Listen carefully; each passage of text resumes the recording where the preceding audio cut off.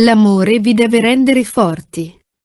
22 luglio 1977 Figli diletti, permettete che vi rivolga brevi parole di saluto, di incoraggiamento e di compiacimento. Nella memoria di Maria Maddalena, di cui la Chiesa oggi fa memoria.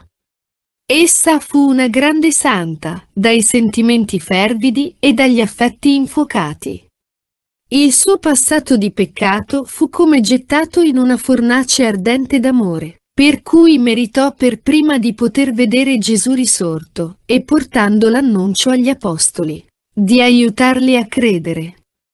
La Maddalena, che è chiamata la peccatrice, rappresenta tutta l'umanità che, nella passione e nel disordine morale, offende Dio, ma è anche simbolo dell'umanità redenta a cui il Signore perdona le sue molteplici iniquità per risollevarla, purificarla e salvarla. Di questa umanità fate parte anche voi come membra attive, perché ciascuno porta il suo contributo di male e ciascuno, nel limite della grazia che possiede, concorre alla riabilitazione dell'uomo. Tenete sempre di mira questi pensieri per poter rialzarvi dopo ogni caduta e per saper capire coloro che, essendo caduti molto in basso, abbisognano anche della vostra opera per rialzarsi. Non è il peccato che vi rende detestabili a Dio, ma è l'ostinazione in esso, che è indice di superbia. Se vi è cara la vostra anima, e se volete essere apostoli di bene, sappiate, come la Maddalena, piangere le tante colpe che ricoprono l'umanità.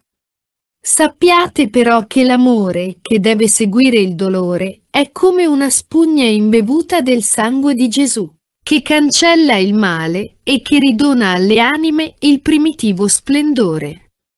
Sappiate amare, figli, non vi pesino i piccoli sacrifici, accettateli e offriteli per amore.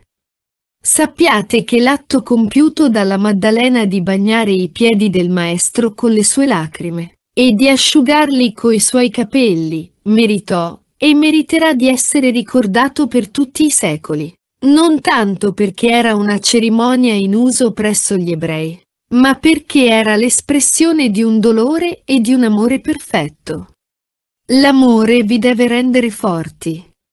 Dovete per amore vincere voi stessi e vincere il mondo. Maria di Magdala diede questo esempio quando, ai piedi della croce, seppe sfidare la soldataglia e gli amici di un tempo. Il mondo d'oggi non è migliore di quello di duemila anni fa.